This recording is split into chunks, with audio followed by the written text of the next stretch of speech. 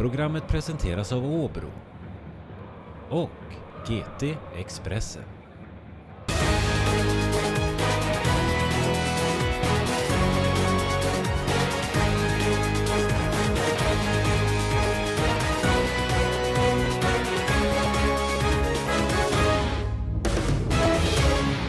Välkomna till Kamratgården. Vi har med oss Hanne Stille. Välkommen! Tack så mycket! Ja, ni är igång igen. Hur känns det? Nej, det känns bra. Vi, vi har kört några pass, pass här nu och eh, efter semestern, så det känns jättebra att få träna på här, absolut. Ni har varit lediga 8-9 dagar. Eh, vad gjorde, gjorde du under den tiden? Jag spenderar väl tid med min familj eh, mest egentligen, framförallt mina barn. Jag har en fru som jobbar också, så hon har inte riktigt semester när jag har semester. Så vi, jag spenderar mycket tid med mina barn. Det är skönt att få göra det och kunna fokusera helt och hållet på dem någon vecka per år. Så det var skönt. Ja, någon vecka per år. Ja. Jag tänker på det, är man helt ledig eller får ni program med er och köra själva eller hur funkar det? Nej, vi får med oss program. Eh, all ledighet vi har egentligen så får vi med oss ett litet beting vi ska göra och en pulsklocka i eh, högsta hugg står de när vi lämnar Kamratgården det här sista passet. Så det var eh, väl tre pass som var under de dagarna där vi var lediga. Och då var det väl ett ja, löppass kombinerat med styrka och de som har lite rehabövningar får väl ett spe speciellt program för det då. Så det, det är ändå lite grann som vi måste göra. Men samtidigt så kan man göra det när man får tid, tid för det själv. Så det, så det är lite smidigare, det är inga bestämda tider. Så, så det är ganska skönt. Men är det att lämna in klockan när man kommer nu då? Första dagen ja, och så... Ja, ja, så är det absolut. Rolle påminner på morgonpasset där. Sen vet inte jag vad han gör med den sen, om han kollar den eller om han bara lägger den i en hög, det vet jag inte. Det får du kolla med han sen. Aha, okay. Jag tänker på det här Hannes, vi är faktiskt bara i början på juni och vi egentligen så inleder ni nu den andra försäsongen, för det är väl lite så det känns va?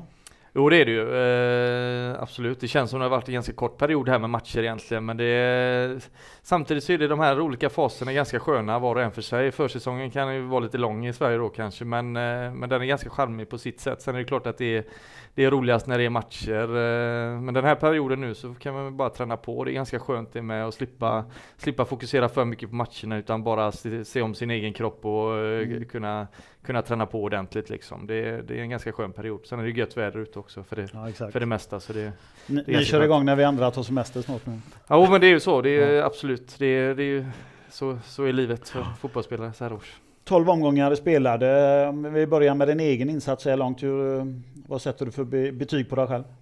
Ja, det har varit rätt okej okay, tycker jag. Eh, nu har jag inte spelat sådär, jag har gjort en, rätt mycket inhopp om man säger. Jag har egentligen bara två matcher från start och det är klart att jag hade velat starta mer matcher än, än två stycken. Eh, Eh, sen är jag ganska nöjd med de inhoppen jag har gjort. Det känns ändå som att jag har förändrat matchbilden och eh, skapat lite situationer som jag har gjort mål i och sådär när jag har kommit in och varit där och huggt. Sen har inte alltid bollen studsat in då, men det känns ändå som jag har varit på gång där då. Men det, så det är väl lite både och. Eh, hade väl gärna spelat lite mer eh, från start om man säger. Men det, det har varit helt okej. Okay, har Mm laget. Jag vet ju naturligtvis att ni eh, inte är nöjda med tabellplaceringen, men eh, hur går det att sätta något betyg på, på laget så här långt? Nej, jag tycker väl att alltså, poängmässigt så är det ju inte godkänt överhuvudtaget. Det har varit alldeles för mycket kryss, så är det. Det, det, det har vi ju konstaterat att eh, så är det. Vi måste vinna mer matcher. Eh, sen spelmässigt så har jag sett en del från sidan om också och stundtals så tycker jag har sett riktigt bra ut. Och och eh, som alla andra som sitter på läktaren så tycker jag väl att vi har fått lite för lite utdelning på det spelet vi har haft. Eh, jag tycker vi borde fått lite mer poäng då. Men det är, samtidigt så får man ju skapa sig de marginalerna själva också. Att man lyckas döda mm. matcherna tidigare och, och vara lite mer noggrann i straffområdena. Så, så tror jag nog det kan bli bra till hösten här, absolut. Mm. Vi kommer nog lite på det lite senare också, men vi fortsätter nu med, med uppbyggnaden. Nu är det ju tre träningsmatcher inplanerade, ska det heta. Rosenborg, ÖIS, Viking, Stavanger. För mig känns det som det är ganska tufft motstånd om vi tänker på Rosenborg och Viking Stavanger. Ja absolut, Rosenborg mötte vi nere i Copa del Sol där och det var en riktigt bra match tycker jag. Så det är, det är kvalificerat motstånd. Eh, sen har väl inte de kanske, om man jämför med några år sedan i Champions League-eran så är de väl inte riktigt där längre. Men det är ju absolut ett bra lag med många bra fotbollsspelare. Mm. Viking Stavanger har jag inte så bra koll på faktiskt. Jag har en gammal lagkamrat från Kviring där, Björn Andersson. Så vet jag inte hur mycket han spelar där men han är där i vilket fall. Så det är klart att det finns kvalitet där också. Så det, det blir nog bra matcher tror jag. Varför tror du man väljer eh, så tufft motstånd? Är det bara för att förbereda sig för Allsvenskan? Men jag tänker på samtidigt så kan det ju kan bli förluster och då kan det ju få lite bakslag också. Eller hur tänker man som spelare? Nej, jag vet inte. Det är inte så nej, noga kanske? nej, det är inte så noga tycker jag. Jag tror nog det är bra att hålla så bra, bra kvalitet på motståndet som möjligt. Eh, givetvis beror det ju lite grann på vad tränarna har för syfte med matcherna, men just de här matcherna tror jag nog att det ska vara så, så likt allsvenska matcher som möjligt. På försäsongen så kanske det är mer att hitta ett eget spel och, Mm. och den typen av träningsmatcher man letar efter. Men nu, nu är det nog bara att att köra igång igen, eh, alltså få, igång, få upp tempo och liksom göra sig redo för allsvenskan och det är nog bra med tufft motstånd, motstånd Mm. Eh, så bra som möjligt tror jag.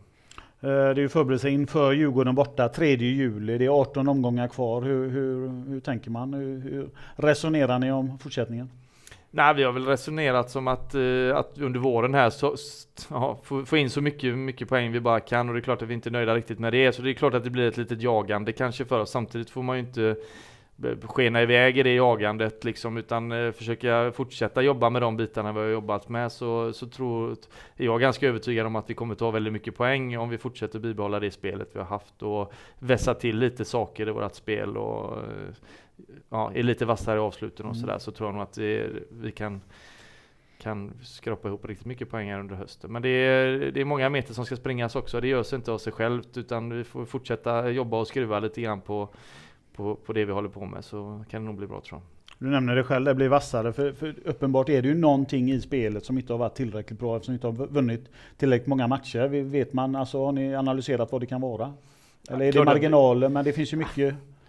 Man kan ju prata om marginaler, det är klart det är ju jävligt små marginaler men då får man ju se till att skapa sig det utrymmet i kvalitet istället då och liksom eh, alltså, så att man har utrymme och få någon smäll emot sig. Men då får man smällen när det står 3 3-0 så är det inte lika farligt som Nej. när det står 1-0 liksom. Då, då leder det inte till poängtapp. Så det det gäller ju att skruva hela tiden och, och skapa sig marginaler i matcherna och kunna ja, döda matcherna helt enkelt eh, när man har ledningen. Samtidigt som man ska kunna få in och forcera in kvitteringar eller eh, segermål i slutet av Mm. matcherna. Och det, är- det, det är någonting vi måste vässa till här eh, under sommar, sommar, sommaruppehållet och det tror jag nog vi kan göra här tillsammans. Om vi liksom går in och krigar ordentligt på träningarna och börjar i den änden liksom och vara noggranna hela vägen så tror jag nog, tror jag nog vi kan få ordning på det fram till sommar, sommar efter sommaruppehållet. Jag, jag har skrivit här, jag har skrivit eh, för offensiva och snedstreck omställningar. Alltså, det är ju en balansgång där hur mycket ni ska föra spelet och vara offensiva.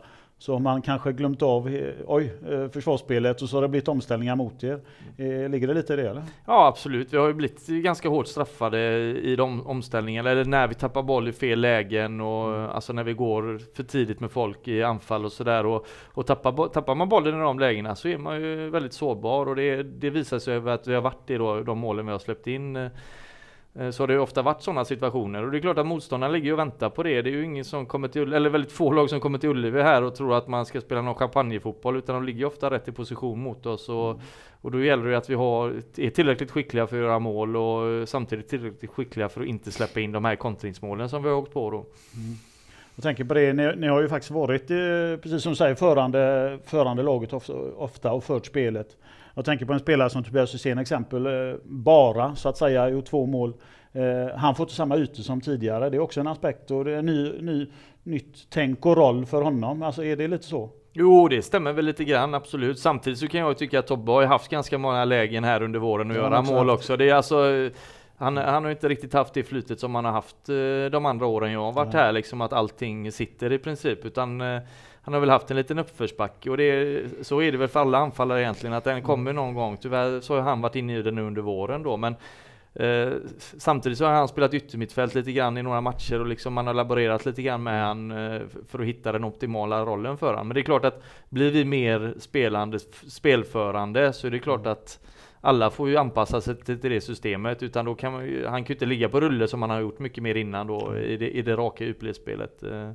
Eh, utan man får ju hitta, hitta rätt. Alla måste ju hitta rätt i det spelsystemet vi har och det Ja, det kanske har tagit eh, den här tiden som det är nu då men Det får lossna under EM för honom istället. Ja absolut, det hade varit jätteroligt om det går bra för honom. Jag tänker på det också, du nämnde också, alla har pratat under våren, media, vi blåvita supportrar, det har varit nya tränare, nya spelare, nytt spelsystem. Men när vi startar Allsvenskan nu mot Djurgården så, så är det väl inget vi kan skylla på längre. Nej absolut inte. Alltså jag tyckte vi var väl förberedda när Allsvenskan startade också och det, det var vi nog ganska överens om att vi hade ganska bra koll på vad vi höll på med och alltså om man ser till hur matchbilderna har sett ut så tycker jag att vi i stora delar hade och haft väldigt bra koll på vad vi har hållit på med. Sen är det ju de här små detaljerna som, som inte kanske har funkat riktigt 100% och det, och det är de man ska slipa bort? Det måste vi slipa till och slipa bort och eh, nu har vi sett vad liksom problemen är 12 omgångar och det är väl kanske lite tränarnas jobb att analysera vad det är exakt som är fel och, och rätta till det lite grann. Mm.